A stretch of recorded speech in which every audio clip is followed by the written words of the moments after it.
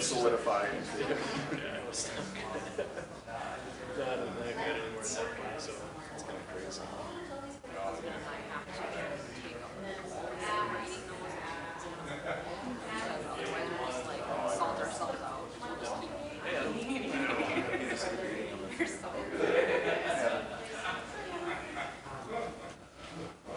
You guys get moved over since Yes.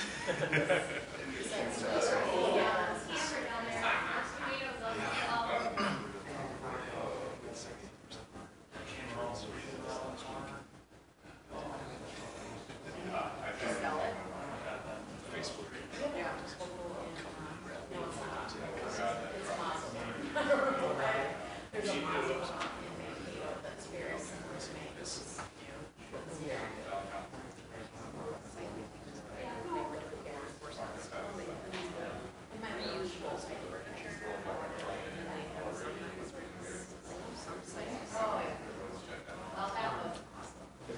Any desks or tables? Oh, you're something. So we could basically cover all our whole furniture. So I think we can do Tuesday mornings.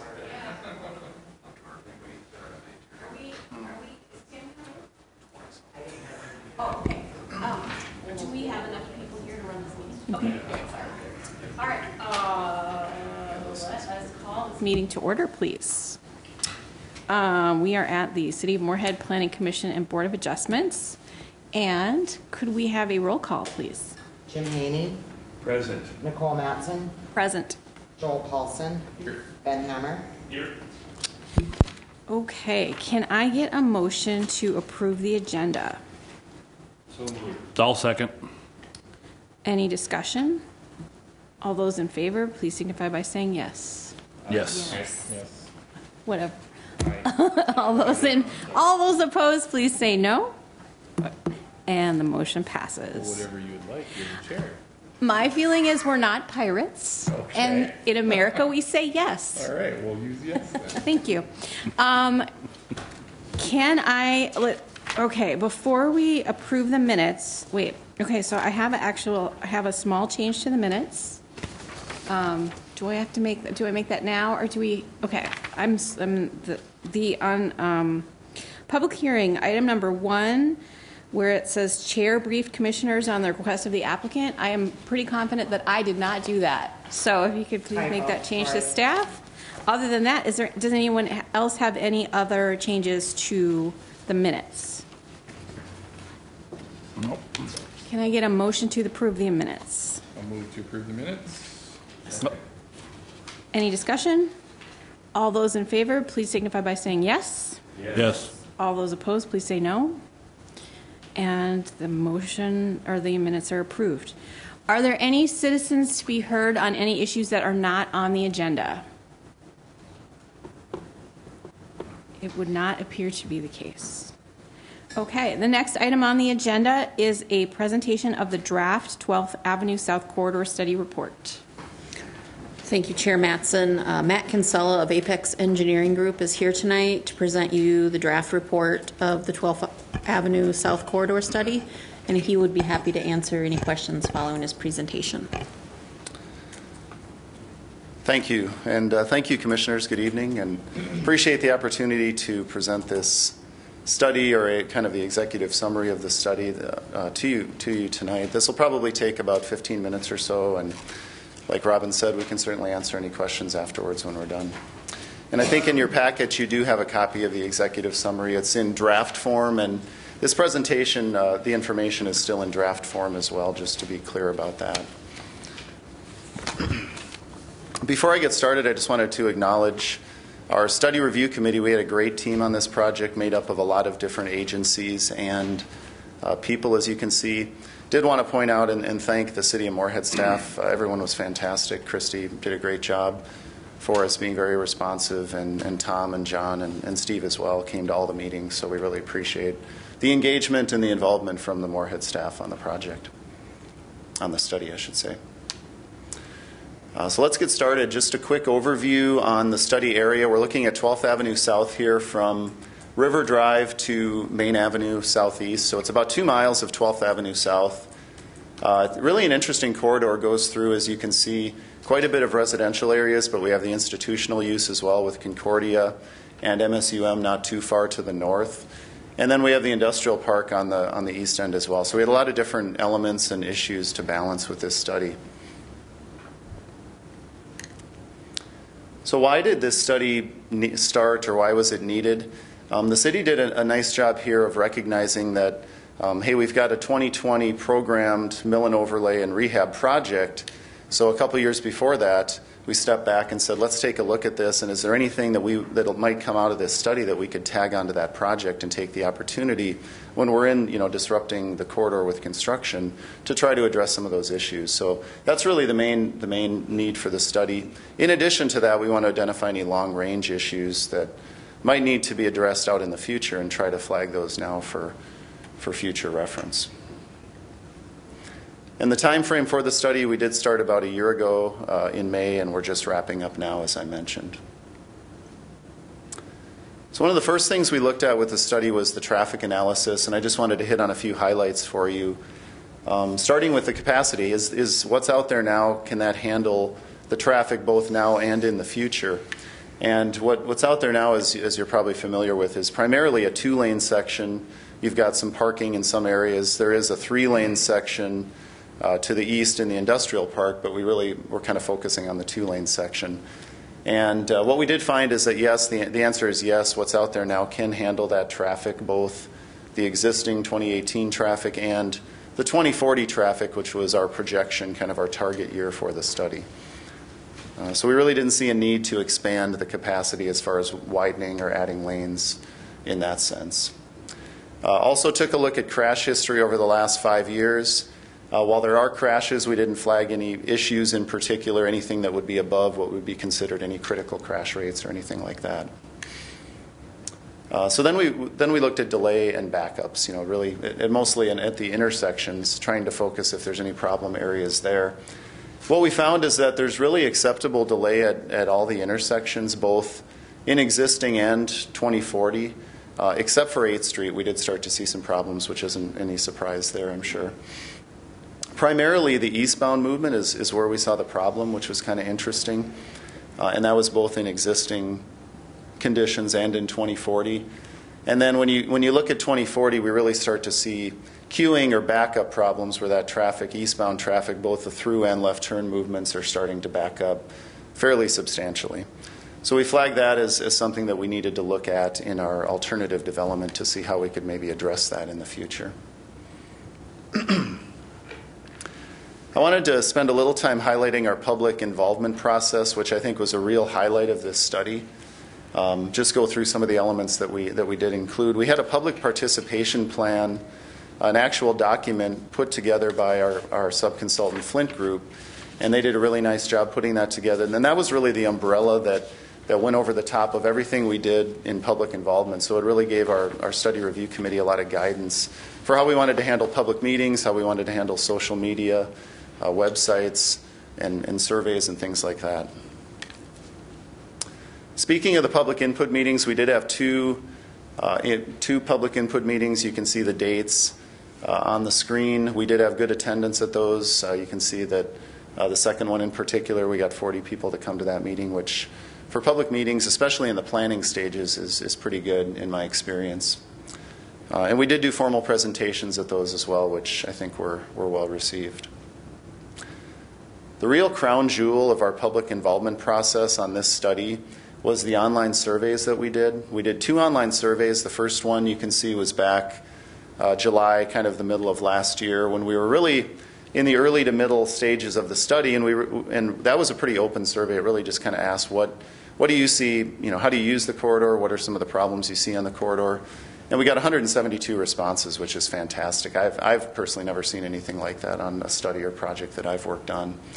Uh, so th- that really worked well. And we did a second one here in March and April, which was a little bit um, a little bit harder survey to do. It was we were asking them to kind of react to some of the alternatives, and some of that's hard to do. Um, just looking at the alternatives, some exhibits on the screen. So, uh, understandably, we probably didn't get as many responses there, but still not too bad at, at 26. So uh, with that, I guess that out of out of the study review committee's discussions, out of the public meetings, the surveys, a lot of different things were were really commonly common categories that, that bubbled to the surface. So we just wanted to touch on a few of those. Number one, or one of the number one things, and actually before I get into this, I did want to mention too that. Um, Pavement condition was, was a, a very highly commented on item. And I don't want it to seem like we're ignoring the pavement condition, but because that project is already programmed to, to do the mill and overlay and, and the rehab, uh, we really focused on some of the other you know, things that could be added onto that. So we're not ignoring the pavement condition. That was definitely commented on uh, from the public involvement process. So one thing that, that was a big big deal to people was pedestrian and bicycle connectivity. There's a lot of gaps out on the corridor right now. There's some areas that don't have off-street sidewalks or pedestrian or bike facilities. Um, and, the, and there was a desire for people to have more of that and really and continue to build the network connectivity. Some of the residential neighborhoods that are east of Main, you know, they're, uh, they have kids that are, that are coming through that industrial park area, maybe trying to get to the pool um, area at the parks. And, and so we did get a lot of comments about that uh, as well. And then with the BNSF crossing right now, as you know, there's no, there's no way for a pedestrian or cyclist to get across that crossing unless you actually use the road part of the crossing. So that was something that we paid attention to. A little bit more about that crossing. In addition to that issue, uh, there, there's just some things going on there that I think everyone's familiar with. You've got some significant grade differences between the, the intersection at 20th and the tracks. There's some steep cross slopes. You can see that bus tipped quite a bit as it's just sitting there, which in the winter can create some, some safety issues when buses are stopped at the tracks if there's ice and snow present. Uh, so there's just some things we wanted to look at at that intersection, and we definitely heard that back as well from the public during the, the surveys. This corridor is, is a heavily used transit corridor. There's three routes that use the corridor. There's a number of stops. Uh, these two stops in particular uh, really had heavy usage. The one at 25th Street, uh, you have a place for hope right there, so there's a lot of um, a lot of uh, users that, that have used the transit to get to and from that. And right now, as you can see in the photo, uh, they, there's no accessible way to get down and get onto the bus. That, that's actually a driveway, so they use the driveway as an effective curb ramp um, for an accessible, accessible uh, access to, to the bus stop there. When we look at these corridors, we also take, we like to take a look at, at access and driveways and see if there's any opportunities to improve or restrict access or consolidate access to just help the operations of the corridor. Um, it's hard with a corridor like this that ha- is, is so residential in nature. Obviously, you can't just close driveways. But there were some opportunities that we did look at to do that. and finally, we, uh, we really took a close look at um, corridor aesthetics as well streetscaping, landscaping, trees. We heard back from the, the process that preservation of the existing trees on the corridor is, was really important to people. Um, it's a mature corridor, obviously, with some really nice trees. You have the what we call the crazy tree on Concordia campus. Uh, that's that's really a landmark and very sacred to to a lot of people in that area. So uh, this was something we heard as well, and, and that we built into our our process. In addition to that, the, the city has been doing a really nice job of incorporating art where it's possible in some of the in infrastructure projects. Uh, some examples here of, of utility box art or, or sidewalk stamping. So that was something that we, we kind of put in front of the public too to just get some reaction on. So with all those issues, we ended up developing a number of alternatives and eventually fleshed those out to some recommended improvements. Um, and I'll just kind of spin through them. I'm not going to touch on everything here. There's um, there's kind of a laundry list of different things that could get tagged on to that 2020 project. And that'll be something that'll still, the discussion will continue and be decided during final design, I'm sure, between, between this commission and city council and, and staff. Um, but as you're looking at these, the ones that, that have the green flags were ones that essentially were recommended by the study review committee. Um, there's a few that have red flags that were considered but ultimately not recommended. Uh, and I think you have these in your in your packet too if you need a little bit closer look because I recognize that it's a little bit hard to to see on the screen. But just to kind of go through segment by segment, and, and I'll, I'll highlight a few of the um, improvements that we think have that that uh, are a little bit more high, high profile or get a little bit more bang for the buck on. Um, so from River Drive to 8th Street, a couple of the things we're doing here is uh, from 5th Street to 8th Street on the south side, we're going to look at widening that sidewalk to more of a path, uh, like a shared use path, so that that can start to be part of that path network that we continue, or the ability to continue, you know, some of that connectivity to the east. And we worked with Concordia on that. They are definitely receptive to that. They own, on the block there from 5th to 6th, they own those properties on the south side, so they're willing to, to work with the city on trying to widen that sidewalk in that area. Um, so that was one of the things we looked at there, in addition to a, a few other things, driveway changes and, and some shifting of the pullouts there for Concordia. Um, but I did want to talk a little bit about 8th Street since we, we flagged that as an issue earlier.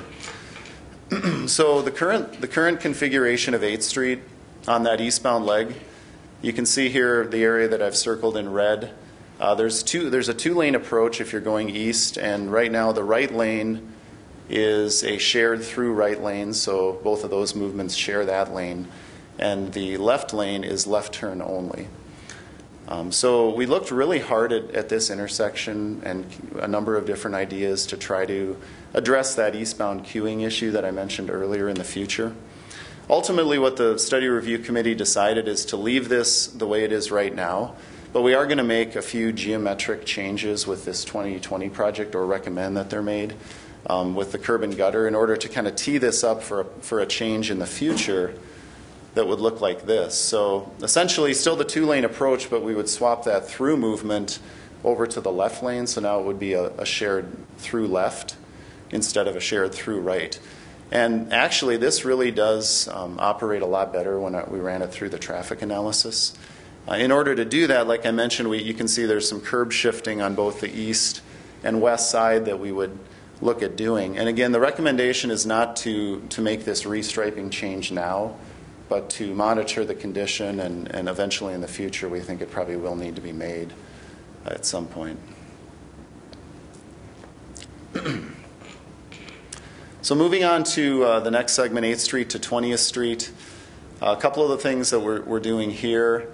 Again, looking at the, the bike path, we're continuing that bike path on the south side. Right now, there's no facility on the south side there from 8th to 11th on the Concordia, or kind of adjacent to Concordia's property. So again, they were really willing to work with us to get a, a really nice size, hopefully a full size bike path in there from 8th to 11th. So that'll complete that path all the way from 5th to 11th Street on the south side. And then continuing to the east, at that point, it does get prohibitive, both probably from a cost and an impact standpoint, to try to, to widen that sidewalk on the south side. So we're proposing to move the bike lanes onto the street at that point and do two bike lanes, two six foot bike lanes, eliminate the parking through that stretch and, and run, them, uh, run the bikes through that way.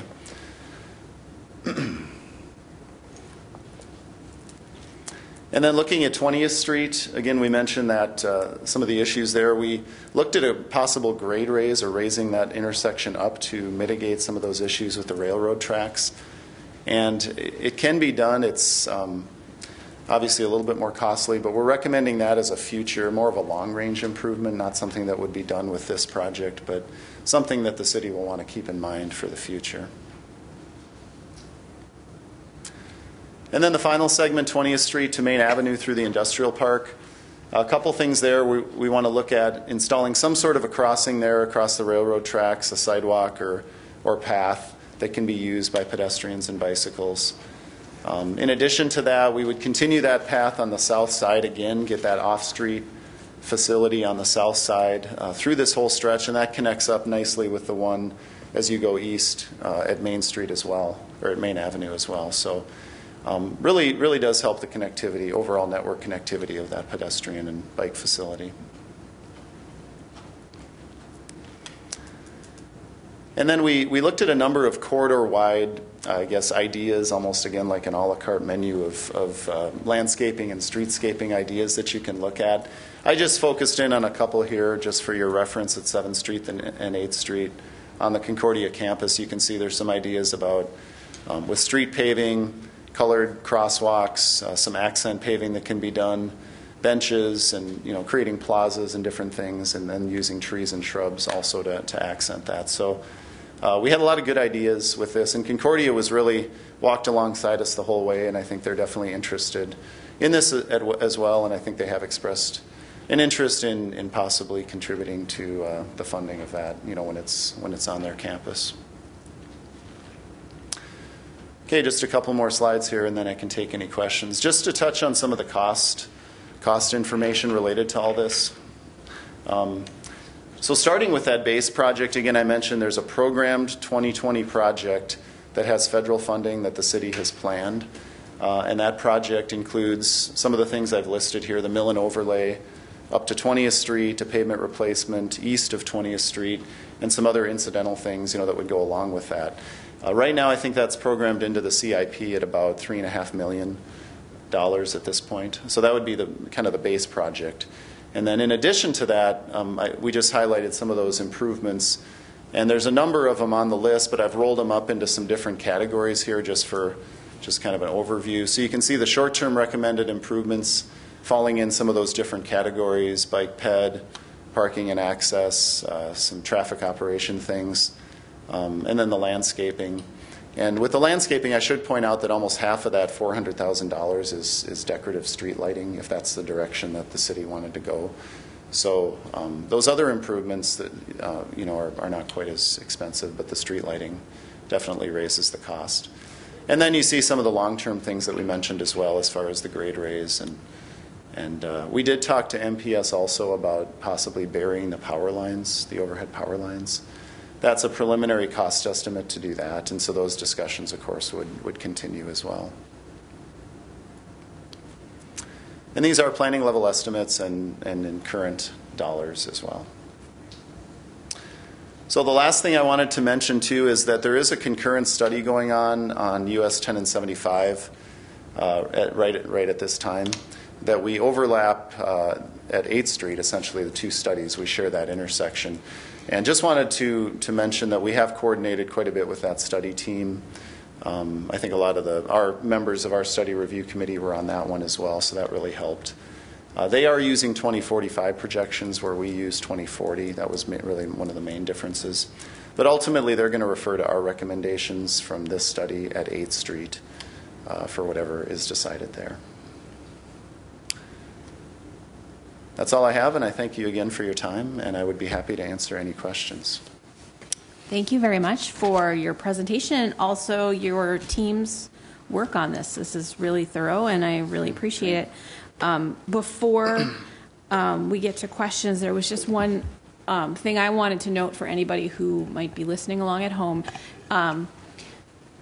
My understanding of the population projections for the metro area is that between 2015 and 2045, we're looking at somewhere between a 42 and 50 percent increase in population.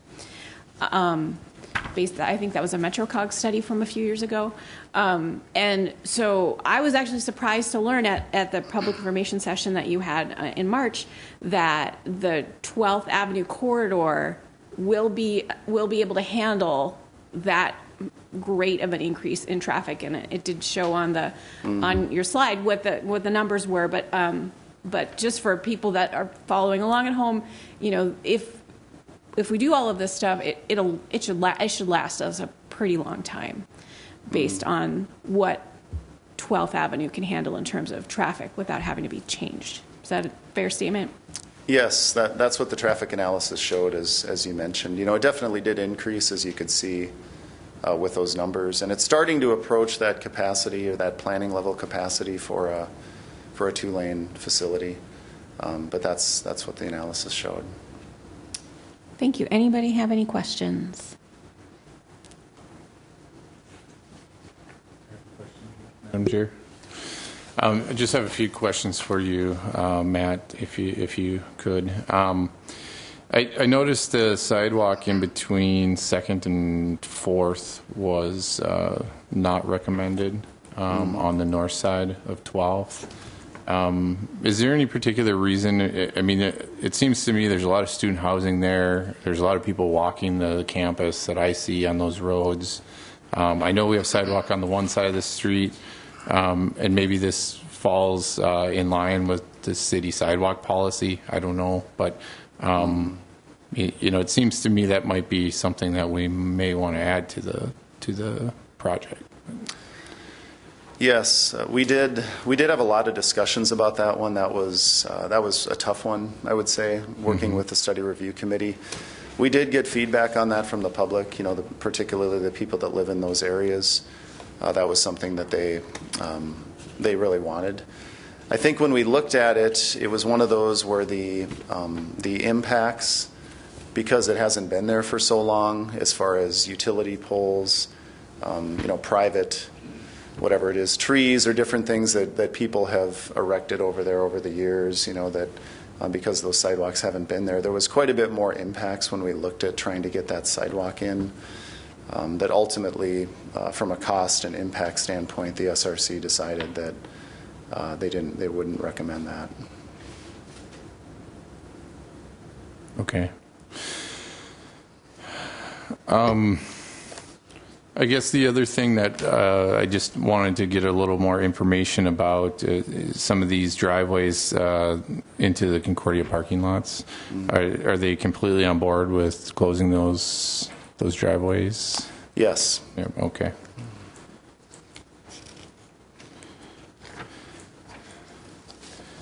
Um, The other comment I would have uh, would be, was there coordination with um, the residents in between uh, 11th and 20th as far as losing the parking on 12th Avenue?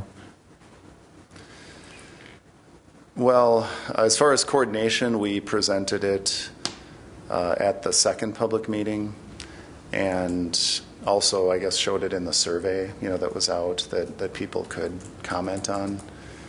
And if I remember right, at, at the second public meeting, there there were a few people that had some concerns with it.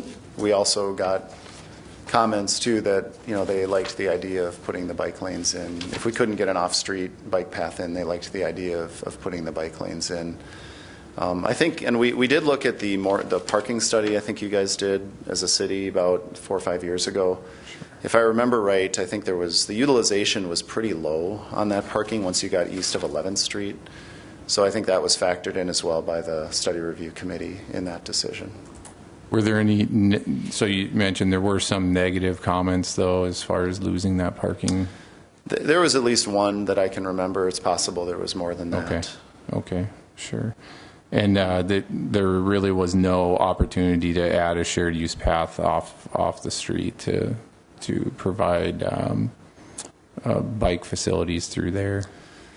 Well, there, there is, you can do it, and I think we have it in there. I forget what the alternative name is on it, but it was, it's one of those shown in red. Sure. Um, and again, it's, it's just cost and, and impact. You And know, we did, we did hear, obviously, the boulevard trees, that's, you know, completely residential through that area, and I think we would, we ended up wiping out, or expecting to wipe out a number of those boulevard trees in doing that. So weighing all of those, all of those issues, it seemed like uh, getting, you know, doing the bike lanes was the preferred option, at least for the study review committee. Yeah, it, and I personally like the bike lanes, and I like how you've maintained continuity for um, bicycle uh, traffic throughout the corridor. Um, it's just it's something we struggle with all the time, is loss of parking and and uh, and the sidewalk issue before or prior. Right. Um, the only other comment, um, you know, I would have at this time, uh, I know you discussed the quiet zone just briefly at 20th Street, um, but uh, I'm uh, certain that's something that we'd want to look at um, as we're doing the project in, in 2020. Um, and and how we can incorporate that quiet zone into any sort of improvements that are that are taking place there, or at least put elements that would allow a quiet zone project in the future with minimal impacts um, to the project after it's complete. I guess so. I'm sure you you've addressed it more in depth in the report. Uh, you know, I just wanted to make a comment to that effect, and uh, that's all I have. So thank you. Thank you.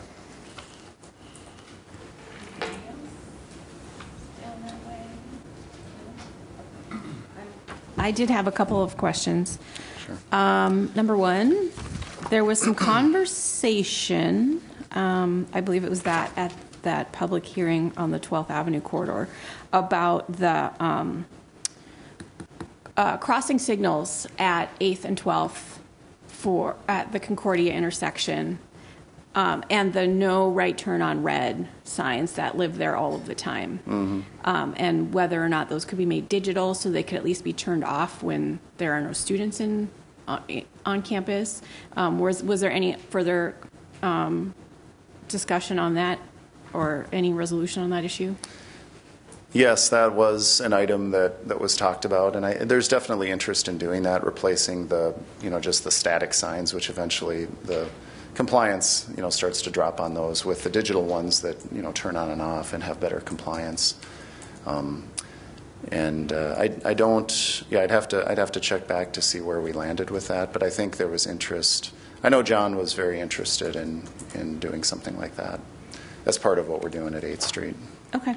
And then the other question that I had was on the um, burying of the power, power lines. If that is not done in, as part of this project, would that increase the cost of, would the cost of doing it later be increased, not just over, you know, the inflation, but having to make other changes that, or disrupt things that maybe are going to be already under construction with this project? Yes, I think it would. Uh, you know, there's always, when you can do something in conjunction with a project that's already disturbing, particularly where we're putting in bike paths and things like that, that, um, you know, you don't want to have to go back into those areas and, and try to disturb that again. So I don't know that that was looked at in too much detail.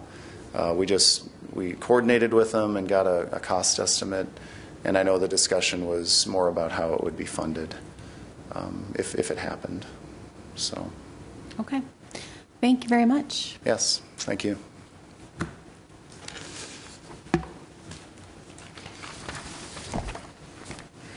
Okay, moving on to our public hearing.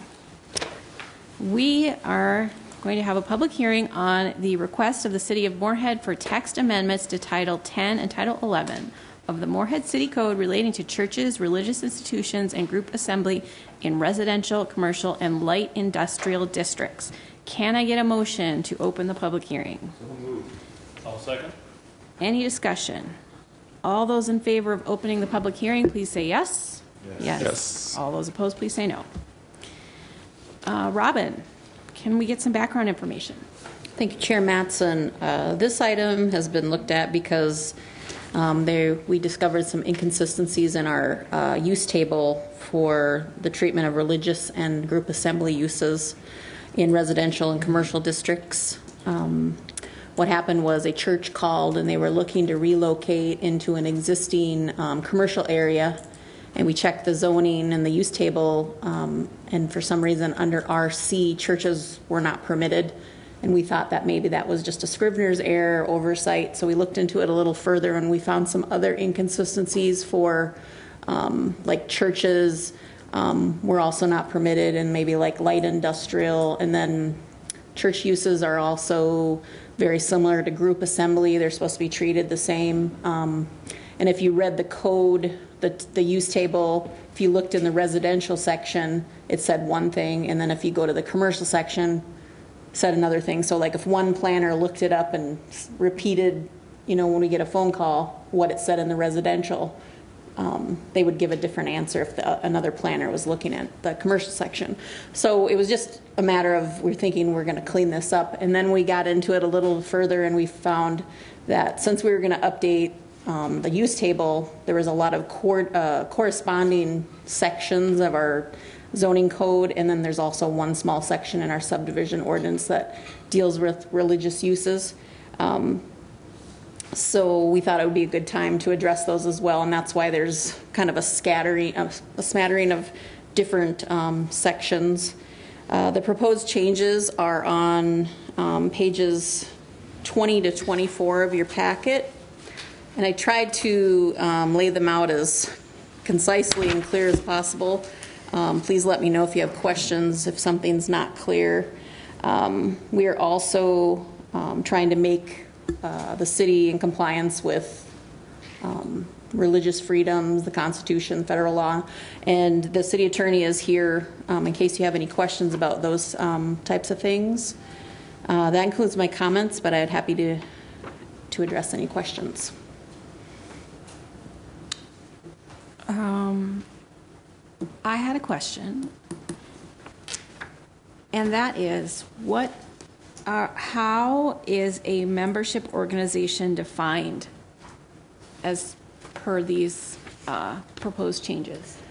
Um, Thank you, Chair Matson. Uh, Membership organizations are like clubs, lodges, like um, fraternal organizations. I'm not, actually, it's a good point. I might have to go back and look and see if we actually have a definition in our, um, in our code.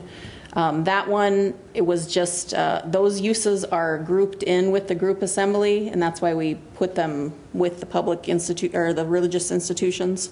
Um, They're all to be treated the same, but um, I'm not, I'm not a member of a fraternal organization, so I'm trying to think like Knights of Columbus or, um, you know, the old, I can't think of another one. Right, I'm just trying to determine how narrowly that's defined. It's because- it's very wide. Okay, it's because- um, like VFW, American Legion. I think maybe that's it depends on what they what kind of if they have a bar, those would be different. Right. But I think um, you put general um, descriptions, and if it's not spelled out in the code defined specifically, then the zoning administrator has a lot of latitude to kind of define. But it was kind of more the clubs, the lodges.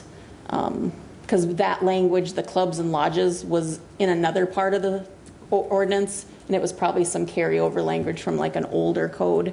So we just thought we would consolidate it and just call it any membership organization that has a charter, that's a nonprofit, something like that. But we certainly could add that to the list, and maybe next time we do a code amendment, if it needs to be defined, we could put a definition in our definition section. I think that might be a valuable thing to do because I think that there are not as many people doing things like Lions and Elks and Knights of Columbus, but there's lots of people doing other kinds of membership organizations, whether they're they are paying dues or not. And there's also um, I can think of a number of nonprofits that would kind of qualify as that and might not know it that they would be they would fall under that definition of a membership organization if we're if that's how we're defining it. Sure. So I, I do think it would be worth taking another look at that particular phrasing and what that means. Yep, we can certainly, it doesn't look like it is in our current code, but that's something we can add to the list to further define that. This was a very complicated, um, one of the ordinances that I've worked on because there's so many things involved, but thank you for pointing that out. We can certainly add that to the list. Um, so I don't see any citizens to be heard. Um, so are there any other questions up here from any commissioners? It's a, it, I will tell you this, it's a little bit hard to follow, but I think I get where you're going. And I think that it makes sense. The, ch- the changes make sense. the what we were staff was trying to do was be be proactive and try to uh, again meet the need of this church that wants to relocate, but also looking forward and trying to be more um, flexible and more open to you know there's so many different religious uses out there today more than just churches. Um, you know, churches, temples, synagogues. Instead of listing all of those different, because you pos- could not possibly list every single kind. Religious institution is is it covers the building that they're in, but it also covers the use. It covers their organization um, as just one thing, and it um, it also opens up our ordinance. Every every type of use like that is permitted as a conditional use, and really they're permitted conditionally. It's just to look at you know making sure they have enough parking for their needs. Otherwise, you know they're not a con- usually not a controversial use unless it's like a big mega church trying to locate in a neighborhood. Um, those can get a little hairy with the parking situations. And I did see there's a parking, there is a Yes. parking regulation in there, so. Yeah, we adjusted that a little bit. Okay. Yeah, Joel. Question, Mr. Chair? Um, This is just, it's fairly benign, but I noticed um, Good Shepherd was indicated as a cemetery on here, and uh, as far as I know, there isn't a cemetery They with have a, property. what's called a columbarium, which is a Ew. type of cemetery. Okay. And it's, it's a small structure kind of in the middle of their lot, and it's where they, where you can place um, ashes. Okay. um, Cremains, but it's, and then there's a plaque on the, the structure indicating that that's where that person is. So that is technically a defined cemetery, it's just a different type of cemetery. Um, And I did change the definition of cemetery to be a little more open because there's different, there's columbariums, there's mausoleums, there may be other ones. I didn't get a chance to check with my funeral director friends to see if there were other things that maybe I didn't think of. Um, But we were just, those four were the existing, and we wanted to make sure by changing, um, taking that out of the use table and making it cemeteries accessory uses to relig- religious institutions, that we weren't creating any nonconformities where I think there was only one cemetery that has land where they could possibly expand, and that's in the north part of Moorhead. I forget which one it is. The Um, Riverside? Yeah Yeah. um, we didn't want it to make it difficult for them to be able to continue, you know, if they wanted to continue sell, selling lots. So that's why we wanted to make sure to do an analysis. And now I know there's only, four, you know, there's only four. Yeah, okay. Thank you. Anybody else? Uh, Can I get a motion to close the public hearing? Second? Any discussion? All those in favor of closing the public hearing, please say yes. Yes. All those opposed, please say no. Can I get a motion on this public hearing, which is a real long title? Um, let's see.